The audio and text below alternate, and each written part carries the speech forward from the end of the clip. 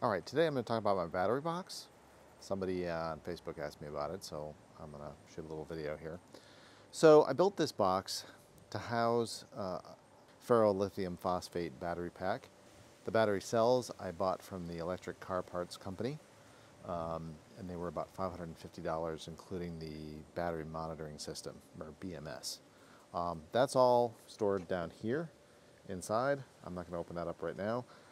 Across the front, we have a battery cutoff. It's just a 100 amp battery cutoff, I think from Blue Sea. I think I bought it on Amazon. We have USB ports here, and then USB and USB-C here, along with a little voltmeter that uh, tells me where the battery's at. And then we have a cigarette lighter adapter. And then last but not least are the Anderson power, power pole connectors. Um, my rule now when I get something that is uh, 12 volts, uh, snip goes the cord because I take off the cigarette lighter uh, plug because they're terrible. They're not reliable and they take up a lot of space. And I put on an Anderson power pole connector or set of connectors. They're reasonably cheap. Um, they're pretty simple. They're not uh, weatherproof by any means, but that really hasn't been a problem for me. Um, but the thing that's nice about them is they're very plug and play. It's easy to connect them and reconnect them and things like that. I actually have some uh, on the power cord in the back of my truck. Um, so it's easy to swap things around. And then the last piece here is the battery monitoring system that I got off of Amazon for, I don't know, $40 or something like that. And that just tells me what percentage the battery is at.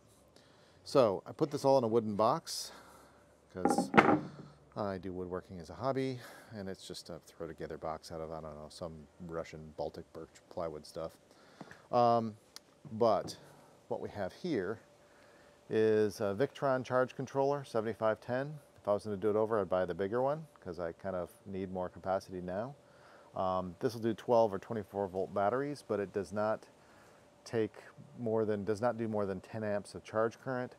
So with 12 volts, that's about 130 watts or so, the max that I can do, uh, which is proving to be not quite enough. All right, so I'm gonna pull some wires out of here. I'll explain why these are loose.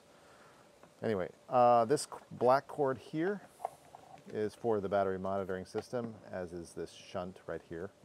And then I have a fuse block over here that let me put fuses on all these individual things in the front. I'm really not sure that was necessary, but um, it seemed like a good idea. So I went ahead and did it.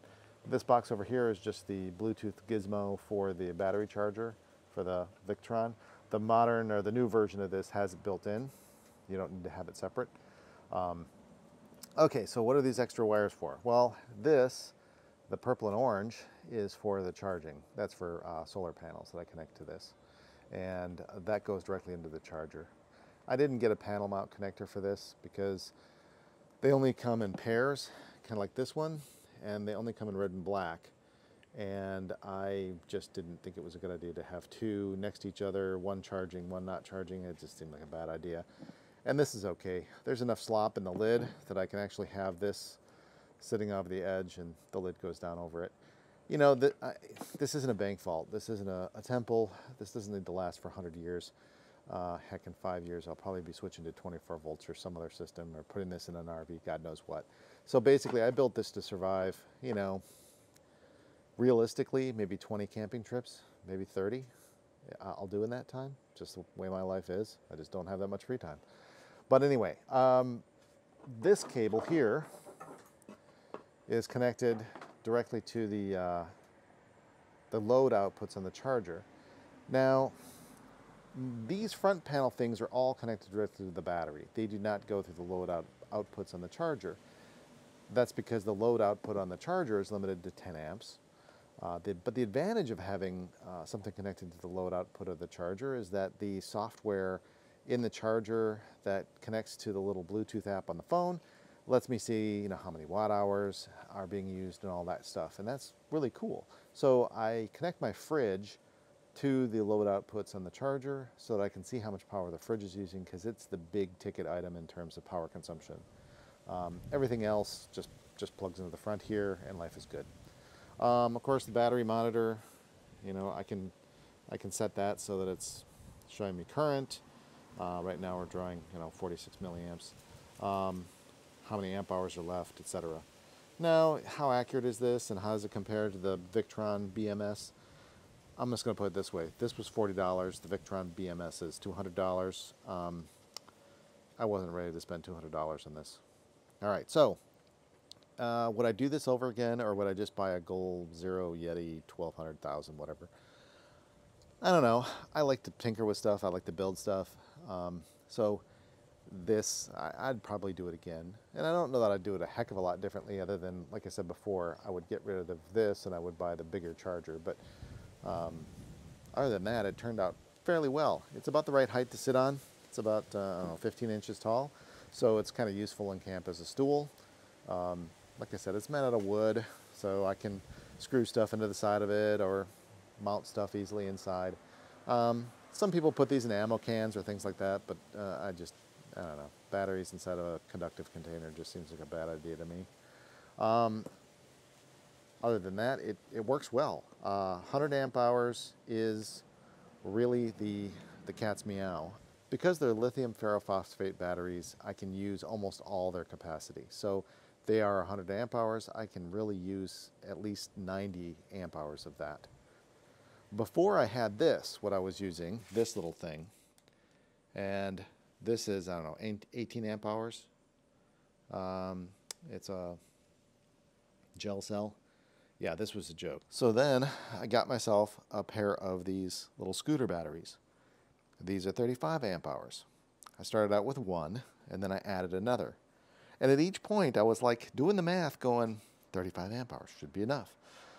Added together, it should be enough. Really, even though this is technically a 70 amp hour battery, really you only get 35 amp hours, and that's not enough.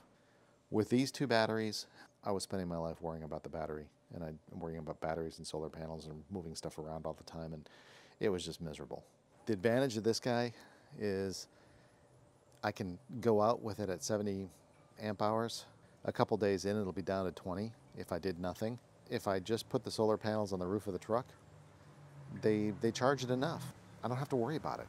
It just gets enough sun that it can do what I need it to do. Now, was it cheap? No, it was $550 for the batteries and you know, $100 for the charger, which I already had. Probably you know, $40 and then call it 15 for the rest of these, uh, 12 to $15 each, somewhere a little more, somewhere a little less. $75, there you go. Yeah, you're still less than $1,000, okay? Now, I already had the tools to make the box. I already had some wire. I already had a lot of the things inside. So, um, uh, the wire and the connectors and all that. So, call it another 100 bucks worth of screwing around. You're still less than $1,000. You're still less than the Goal Zero Yeti, Ah, but you're going to say, Steve, the Goal Zero Yeti has a hundred or a thousand watt inverter built into the front of it. Where's the inverter for this? Well, that's a good question. So for $49 on Amazon, I got this John Jandel 300 watt pure sine wave inverter. Now, I didn't go with a thousand watts because, okay, when I'm camping, I'm not running power tools, nor am I running, I don't know, electric grills or coffee makers or that kind of stuff. I basically bought this for one purpose. It was the cheaper of two alternatives to connect my CPAP machine. The other alternative was a DC cable for the CPAP machine made by Philips, the people who make the CPAP. And that would be specific to the CPAP machine, wouldn't run anything else. But with uh, an inverter, obviously I can hook up my laptop, you know, other things that people have, you know, I can hook them up to this. It'll do 600 watts momentarily, I believe, and it has a couple of USB charging ports in the front it works well. It, will run a computer monitor. It'll run actually a surprising amount of stuff. Um, I worked from a campsite for a few days. Had my laptop plugged into this along with an external monitor, and uh, it, it handled it just fine. The other thing I like about this inverter is it, it is quiet. At 80 to 100 watts, the fan does not come on. Um, and this is on a fairly warm summer day. The, the fan doesn't come on and it's quiet. So there you go.